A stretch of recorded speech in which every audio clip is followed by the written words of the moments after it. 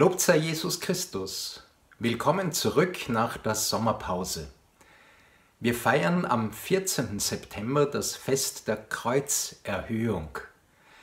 Dieses Fest erinnert an das Jahr 335, wo nach der Einweihung der Weihe der Basilika über dem Grab und der Kreuzigungsstelle Christi das Kreuz, das Helena, die Mutter von Kaiser Konstantin, nach einem Traum gefunden haben soll, erhöht, das heißt allen gezeigt und zur Verehrung dargeboten wurde.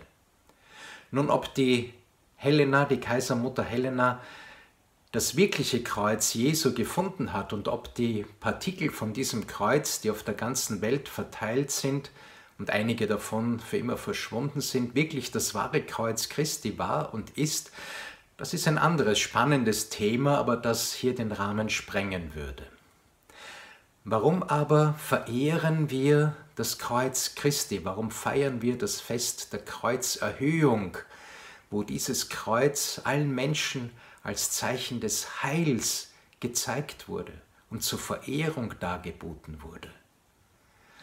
Nun, Jesus hat sich auf diesem Kreuz leidend für uns alle, für unsere Erlösung, für unser ewiges Leben, zur Sühne für unsere Sünden hingegeben.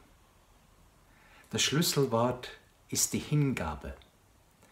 Wie er selbst sagt, man hat ihm das Leben nicht genommen, sondern er hat es aus freien Stücken hingegeben und hat es dann wieder aufgenommen in der Auferstehung.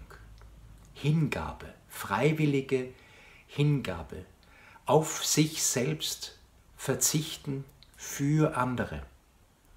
Und genau das ist auch das Wichtige am Kreuz in unserem Leben. Wer mir nachfolgen will, der nehme sein Kreuz auf sich, sagt Jesus. Dieses Kreuz auf uns nehmen, ja, das ist die tägliche Selbsthingabe. Was bedeutet das? Dass ich eben nicht immer nur an mich denke, was mir gut tut, was ich will, sondern schaue, was der andere braucht und auf mich selbst, auf mein eigenes Wohl verzichte für das Wohl des anderen, im Kleinen wie im Großen. Ja, Sie merken schon, da sträubt sich was. Das wollen wir eigentlich nicht, weil eben unser Ego dagegen steht. Unser Ich, das beansprucht, ich bin doch der Wichtigste in meinem Leben. Und genau das hindert uns aber daran, Jesus nachzufolgen und Gott zu begegnen. Und im Evangelium am 24. Sonntag im Jahreskreis hören wir auch, als Jesus über seine Kreuzigung spricht, dass Petrus dem energisch entgegentritt und sagt, das soll nicht geschehen. Natürlich will er das auch nicht. Es ist ja menschlich verständlich. Wer will denn schon, dass sein Freund und Meister, dem er nachfolgt, grausam umkommt? Das soll nicht geschehen. Und Jesus erwidert aber sehr streng und sehr unwirsch, hinter mich, du Satan. Du willst, was die Menschen wollen und nicht, was Gott will. Und genau das ist es, dass auch eben wir das wollen, was die Menschen wollen, nämlich nicht leiden, nämlich uns nicht hingeben. Und diese Selbsthingabe, ja, die ist immer mit Leid verbunden, weil es dem Ego, dem Ich eben schmerzt, wenn er nicht das Wichtigste ist, wenn dieses Ego zurücktreten muss, wenn es sich preisgeben muss, wenn es etwas hergeben muss von sich. Und genau das ist auch die Liebe und darum schmerzt auch die Liebe. Denn wenn wir uns einem anderen hingeben, dann muss ich etwas von mir aufgeben. Und nur so funktioniert auch eine wirkliche Beziehung, eine wirkliche Ehe, dass ich auf etwas verzichte von meinen Wünschen, von mir selbst, für den anderen.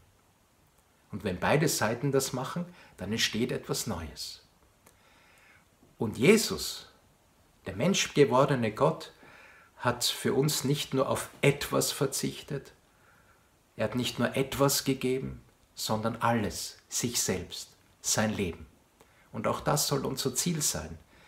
Nicht erst, wenn wir im Tod uns ganz hingeben und auf uns selbst verzichten müssen, sondern vielleicht schon vorher, dass wir das üben, dass wir das lernen, dass wir schon lernen, Jesus Christus hier im Leben nachzufolgen und unser Kreuz tragen, indem wir auf uns selbst, auf unser Ego mehr und mehr verzichten, zum Wohle des Du. Das ist die Liebe, das ist die Nachfolge Jesu Christi.